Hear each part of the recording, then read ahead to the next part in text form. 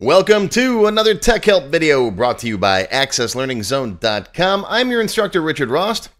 In today's video, we're going to talk about temperature conversions again. This time, we're going to allow the user to enter the temperature and specify any scale they want, either Fahrenheit, Celsius, or Kelvin. And and yes, I realize at quick glance what this title slide looks like. Okay, it wasn't intentional, wasn't intentional. Today's question comes from Daisy in Atlanta, Georgia, one of my platinum members. Daisy says, I loved your lesson on converting between Fahrenheit and Celsius, but that assumes you're always getting readings in one or the other. In my lab, we can sometimes get temperatures in any of the three scales, and we have to be able to convert it to the other ones. So, is there a way to have it so the user specifies the scale when they add the value to the table? Yes, of course, Daisy. There's lots of ways you can do it. Um, I prefer putting the value in a separate field from the scale. I've seen a lot of times where people try to do it like 32F in the same field, like a, a short text field. And that just causes problems. So let me show you how to set it up the right way, the way that I'd like to do it. There's of course there's a million ways to do it. I can just show you how to put the Lego pieces together and, and you can rearrange them in whatever way you want. All right, before we get started, let's talk prerequisites. If you haven't watched the original Fahrenheit to Celsius video, go watch this first. I cover a lot of stuff in there that I'm not going to repeat today. Also, go watch my video on the switch function. This is an alternative to nested if functions. We're going to use this to say, okay, if the scale is Fahrenheit, use this equation. If it's Celsius, use this equation. If it's Kelvin, use this equation. That it's easier to use switch than it is to use multiple nested if functions. So definitely go watch this video. And go watch this video on making a value list combo box. We're going to make one of these so the user can drop it down and pick F, C, or K right inside of a form. These are all free videos. They're on my website. They're on my YouTube channel. You'll find links down below you can click on. Go watch those and come on back. I consider this to be an expert level video. What does that mean? Well, I've got multiple levels for my courses. I got beginner, which is you don't know a whole lot, you just started learning access. Then I got expert is the next level, which you've been using it a while, you're past the basics, you're getting into functions and formulas and things with moving parts and molecular structures and atomic weight. No, you know what I mean. And then after that, I've got developer, all right, which is VBA coding and all that stuff. So this is expert. It kind of falls in the middle. We're going to use some cool functions and stuff in this class. And before we get started, I got a little trivia for you. I love trivia. I'm a, I'm a trivia nerd. Sorry. So you can forward passes if you want to, but I I, I live for trivia. Um, one thing, and I just learned this recently: Kelvin is not measured in degrees Kelvin. It's just Kelvin. So you don't say 30 degrees Kelvin. It's just 30 Kelvin. Right? I used to always get that wrong. And this one, a few people posted in comments on the other video. Uh, the only temperature that's the same between Fahrenheit and Celsius is negative 40. It's the same on both scales. And yes, I've known this all my life. I'm originally from Buffalo, New York, and I spent a lot of time up in Toronto. And I was up in Toronto at one point where it was negative 40. It was so cold, my car wouldn't start. So that was fun. And this is a quote. I believe it's Neil deGrasse Tyson. I, I should probably look it up, but I, I'm lazy. Um, he said basically Fahrenheit is a scale that's based on humans, right? Zero to 100. That means a, a human will find zero pretty cold and, and 100 pretty hot. Celsius is based on water, how water behaves. It freezes at zero and it boils at 100, right? And then Kelvin is based on molecules, where zero, absolute zero, is no molecular motion. So I thought that was pretty cool. Right? I love whoever came up with this meme. This is all over the internet, right? Fahrenheit, zero is really cold outside, 100 is really hot outside. Celsius, fairly cold outside, dead at 100. And then Kelvin, zero, dead, 100, dead. So I love this one. All right, one more bit of trivia and I'm done. Celsius was originally named centigrade from the Latin centum, cent meaning 100, right? From the inventor Anders Celsius, Oin 1742. Oin, let's fix that. On. In. In 1742. Good old PowerPoint slide. Failed me there. Uh, it was an inverse scale at first, so 100 was actually colder than zero. I don't know why he did that, but uh, okay. So after his death, scientists flipped it because it just wasn't intuitive. And then in 1948, it was officially renamed Celsius in his honor. Today, it is the most commonly used system in the world, with the notable exception of here in the United States, because we're dumb. Yeah, I said it. Celsius is what we should use. And metric system. And well, the old system's dumb. Come on, USA, get with the rest of the world here. Oh, okay. All right. One more thing. Yeah, I actually asked Chat GPT if there were any other scales. Because I was putting this together, I'm like, is there anything else we might want to convert to? But no, not really. Temperatures are pretty much Fahrenheit, Celsius, Kelvin, and scientific communities. There are some other ones. Here they are. You can read up on these. Um, I didn't know Newton made his own scale. That's pretty cool. What what didn't Newton do? Newton was like amazing.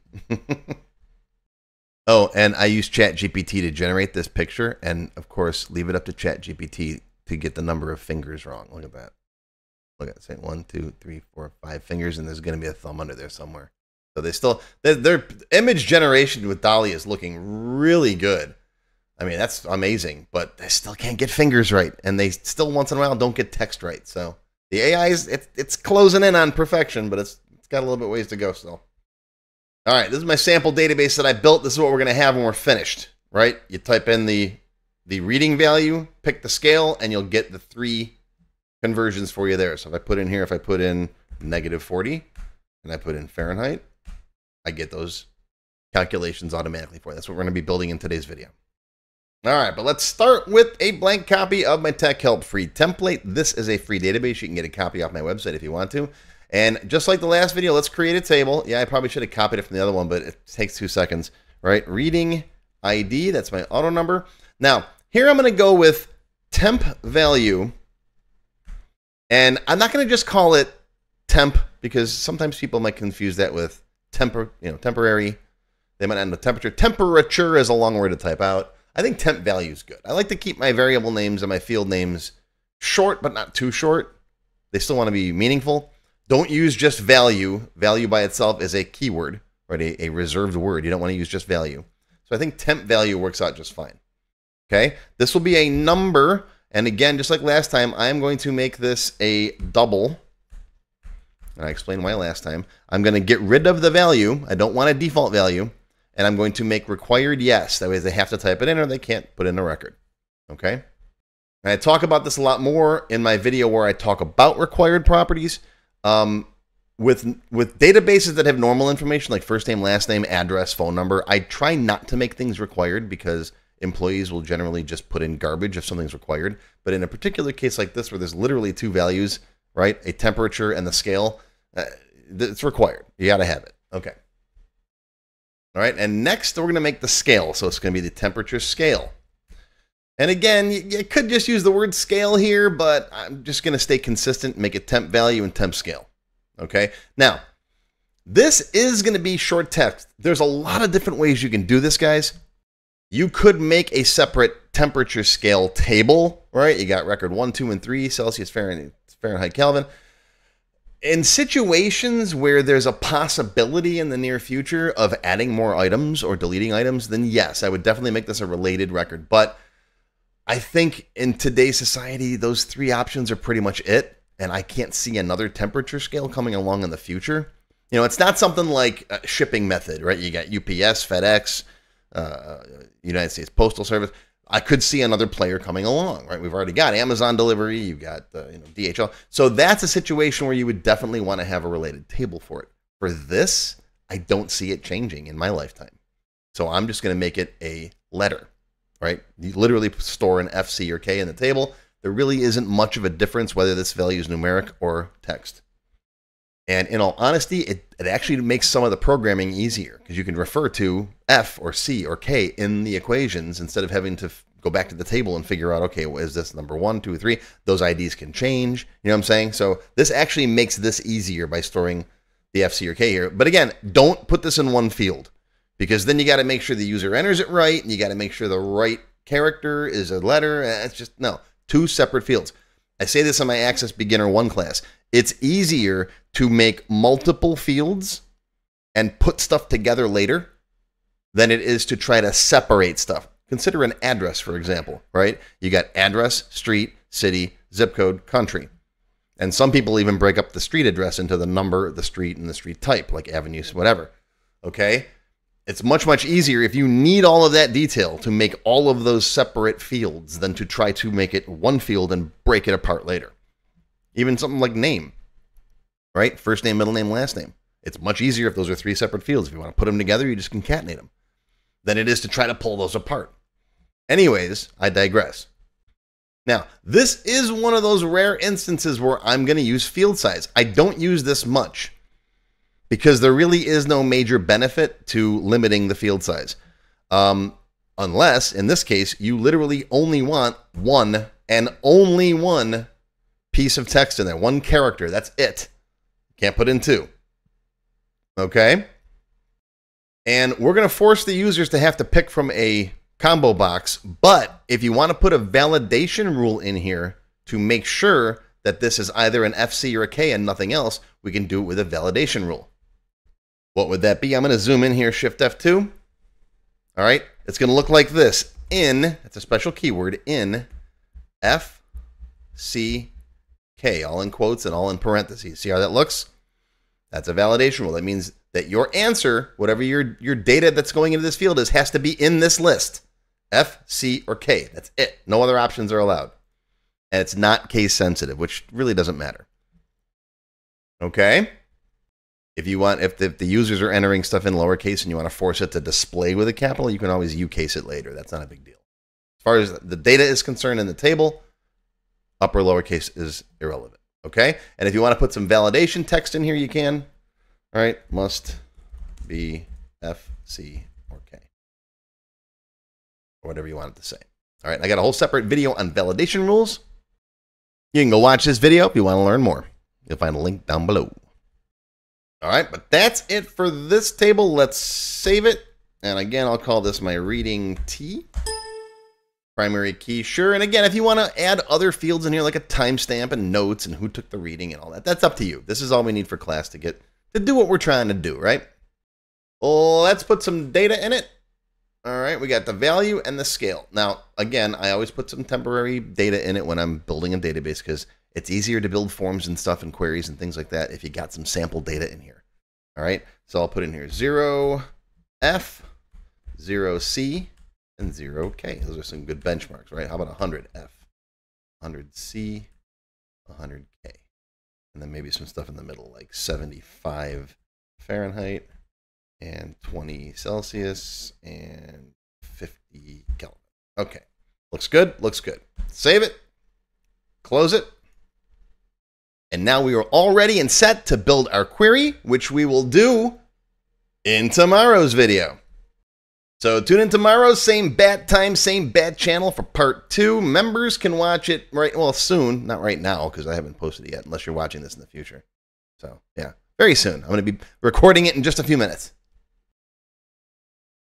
But that is going to be your tech help video for today. I hope you learned something. Live long and prosper, my friends. I'll see you next time. See you tomorrow. If you enjoyed this video, please give me a thumbs up and post any comments you may have below. I do try to read and answer all of them as soon as I can. Make sure you subscribe to my channel, which is completely free. Click the bell icon and select all to receive notifications when new videos are posted. Want to learn more? Click the Show More link below the video to find additional resources and links. YouTube does a pretty good job of hiding it. It's right down there. See this part of the description here, right? The name, the video's up here. There's a little Show More down there, right down the bottom. It's kind of hard to find. But once you click on that, you'll see a list of other videos, additional information related to the current topic, free lessons, and lots more.